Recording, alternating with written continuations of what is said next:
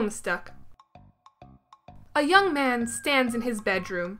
It just so happens that today, the 13th of April 2009, is this young man's birthday.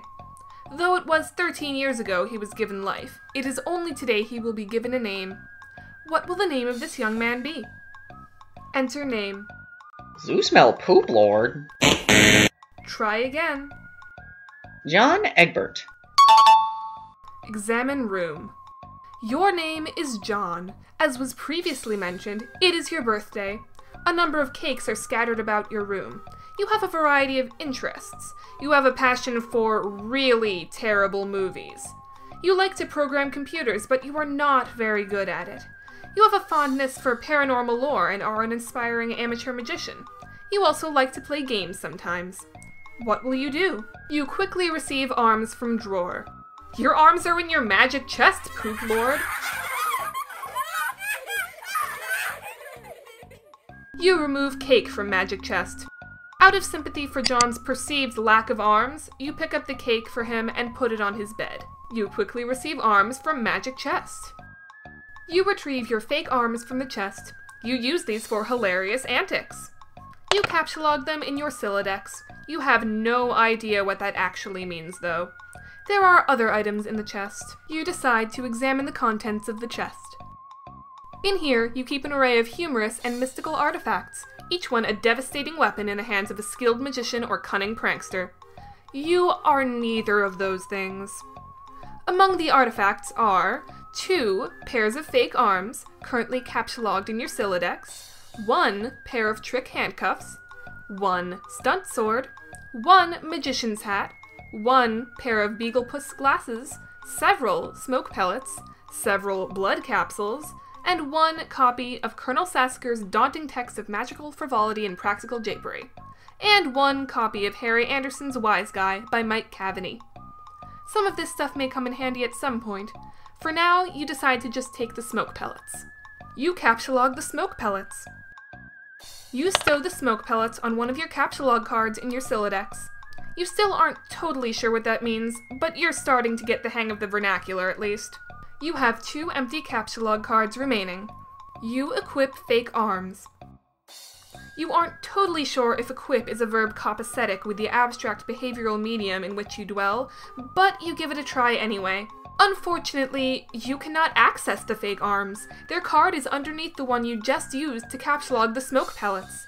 You will have to use the pellets first in order to access the arms, but this is probably unadvisable since you'd just make your room lousy with smoke. Your Sylladex's fetch modus is currently dictated by the logic of a stack data structure. You were never all that great with data structures, and you find the concept puzzling and mildly irritating. But with any hope, perhaps you will advance new, more practical fetch modi for your Sylladex with a little more experience. You examine Problem Sleuth poster. Is it even possible to get any more hard-boiled than that? You really doubt it. This poster was one of your wisest purchases. There was a nice spot on the wall next to it. You've been meaning to hang another poster there soon. You read the note on the drawer. Happy birthday, son. I am so proud of you. This note is rich with the aromas of fatherly aftershaves and colognes. Beside the note is a rolled up poster. You take the poster. Another birthday artifact. You wonder what is printed on the poster. You'll need some way to hang it on your wall. You acquire a hammer and nails. They will come in handy. You first place the hammer into your Sylladex, but now all of your Captchalogue cards are full. You wonder what will happen if you try to take the nails. You guess it doesn't hurt to try. You take the nails. You Captchalogue four nails into the top card and push all the artifacts down a card. The fake arms are pushed entirely out of the deck. Oh well, they're probably completely useless anyway. But you probably don't want to do that again unless you want to drop the smoke pellets and suffer the consequences. In any case, you do now feel like you have gathered enough things to get down to business, and do some really important stuff. The next thing you do will probably be exceptionally meaningful. You decide to squawk like an imbecile and shit on your desk. This is the dumbest idea you've had in weeks. Stupid, stupid, stupid! And yet, the polished surface of your desk, it beckons. You combine the nails and hammer.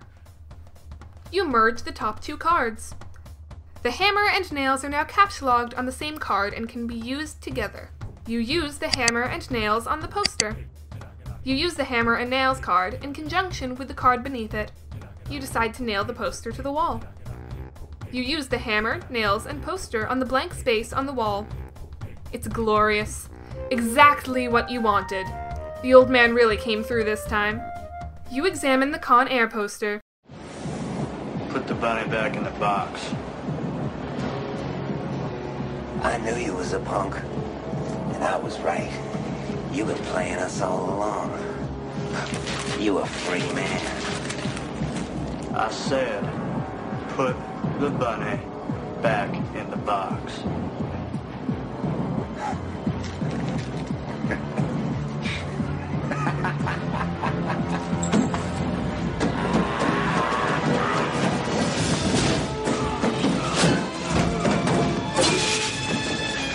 Die, punk.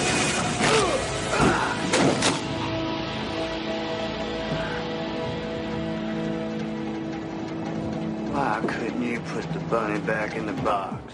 You examine the Deep Impact poster. Morgan Freeman's genteel, homespun mannerisms were perfect qualities for a president residing over a crisis.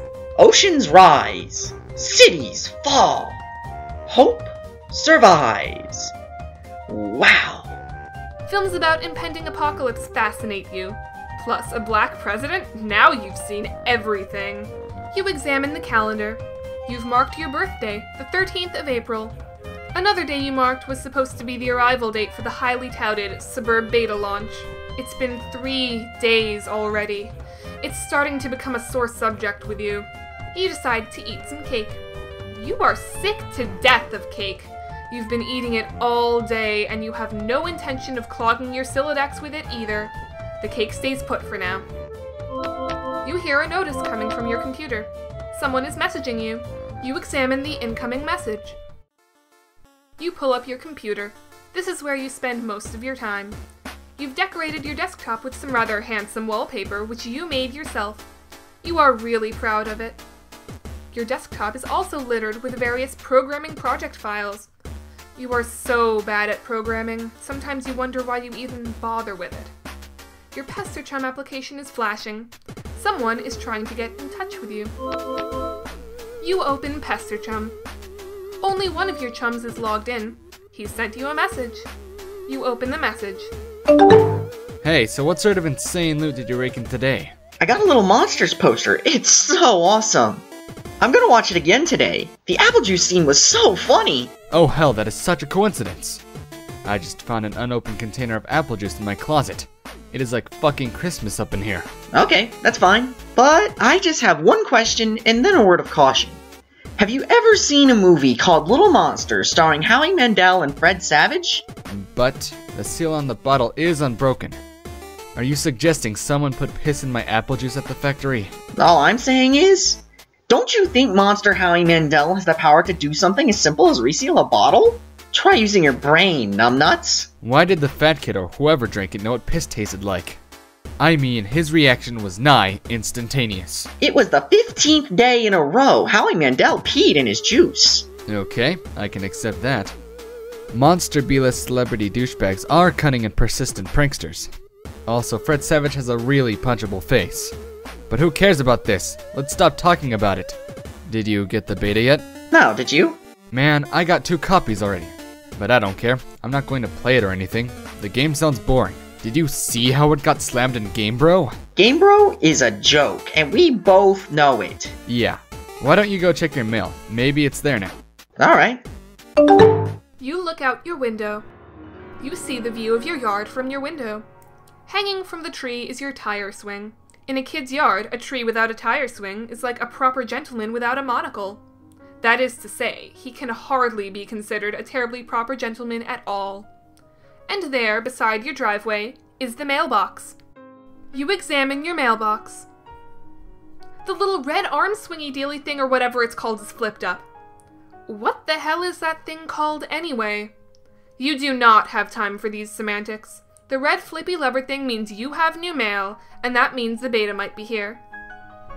You go outside to check the mailbox. You are about to hurry down the stairs when you hear a car pull up into the driveway. It looks like your dad has returned from the grocery store.